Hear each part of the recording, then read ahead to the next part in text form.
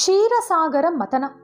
ಆಗಸವನ್ನಂಟುವ ಸ್ವರ್ಣಮಯವಾದ ಶಿಖರಗಳೊಂದಿಗೆ ಸೂರ್ಯ ಕಾಂತಿಯನ್ನು ಸಹ ಮುಚ್ಚಿ ಹಾಕುವ ತೇಜಸ್ಸಿನಿಂದ ಕೂಡಿರುವ ಮೇರು ಪರ್ವತದ ಮೇಲೆ ದೇವತೆಗಳೆಲ್ಲರೂ ಒಂದು ಬಾರಿ ಸಮಾವೇಶಗೊಂಡು ಅಮೃತವನ್ನು ಹೇಗೆ ಪಡೆಯುವುದು ಎಂದು ಆಲೋಚಿಸುತ್ತಿದ್ದರು. ದೇವತೆಗಳು ಹಾಗೂ ಅಸುರರು ಸೇರಿ ಸಮುದ್ರ ಮತನ ಮಾಡಿದರೆ ಅಮೃತ ಪ್ರಾಪ್ತಿಸಬಹುದೆಂದು ನರನಾರಾಯಣರು ಸೂಚಿಸಿದರು.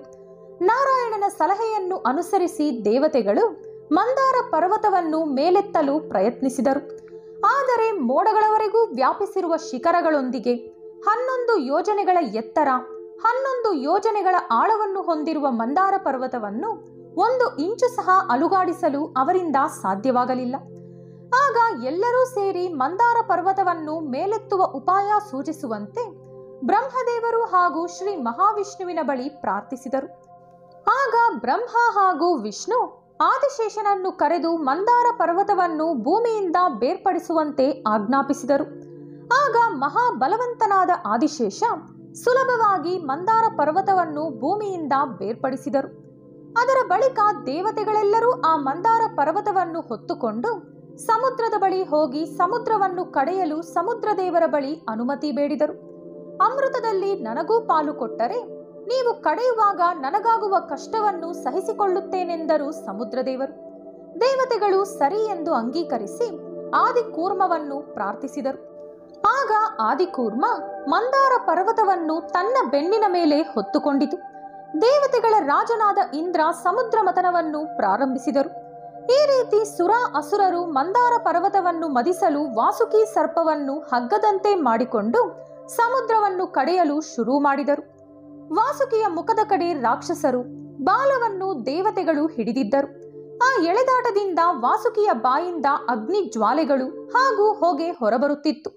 ಆಗ ಆ ಹೊಗೆ ಮೋಡಗಳಂತೆ ಬದಲಾಗಿ ನೀರಸಗೊಂಡಿದ್ದ ದೇವತೆಗಳ ಮೇಲೆ ಮಳೆಯಂತೆ ಸುರಿಯಲಾರಂಭಿಸಿತು. ಅದರ ಬಳಿಕ ಶಿಖರಗಳಿಂದ ಹೂಮಳೆ ಸುರಿಯಿತು. ಸಿಡಿಲು ಮಿಂಚಿನಂತಹ ಭೀಕರವಾದ ಶಬ್ದಗಳು ಶುರುವಾದವು. ಮಂದಾರ ಪರ್ವತದ ಮೇಲಿದ್ದ ಮರ ಗಿಡಗಳು ಅಲುಗಾಡಿಸುತ್ತಿದ್ದಂತೆ ಒಂದೊಂದಾಗಿ ಉದುರಿ ಹೋಗುತ್ತಿದ್ದವು. ಆ ಮರಗಳು ಒಂದಕ್ಕೊಂದು ತಾಕುವುದರಿಂದ ಭಯಂಕರವಾದ ಕಾಡ್ಗಿಚ್ಚು ಶುರುವಾಯಿತು. ಆದರೆ ಇಂದ್ರ ಮಳೆ ಸೃಷ್ಟಿಸುವ ಮೂಲಕ ಆ ಬೆಂಕಿಯನ್ನು ಆರಿಸಿದರು.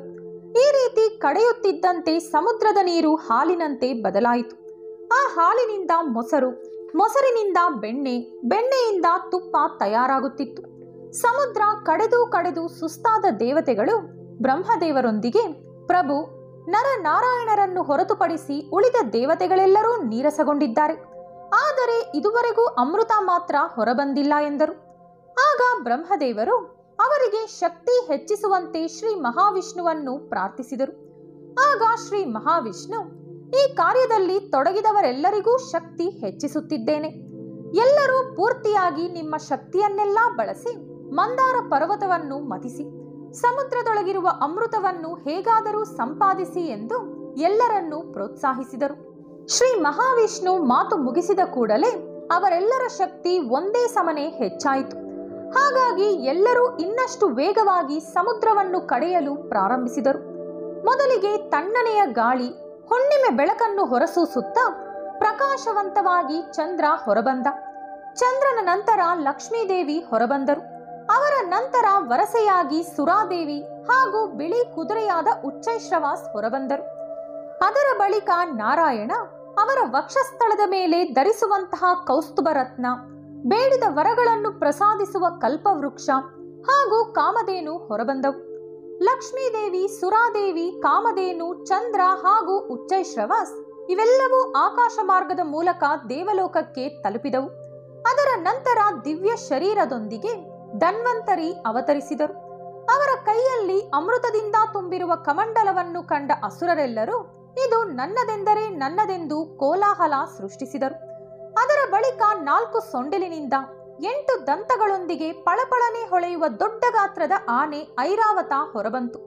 ಅದನ್ನು ಇಂದ್ರ ಸ್ವೀಕರಿಸಿದರು. ಸಮುದ್ರವನ್ನು ವಿಪರೀತವಾಗಿ ಕಡೆದ ಕಾರಣ ಅದರೊಳಗಿನಿಂದ ಕಾಲಕೂಟ ವಿಷ ಹೊರಬಂತು. ಅಷ್ಟೇ.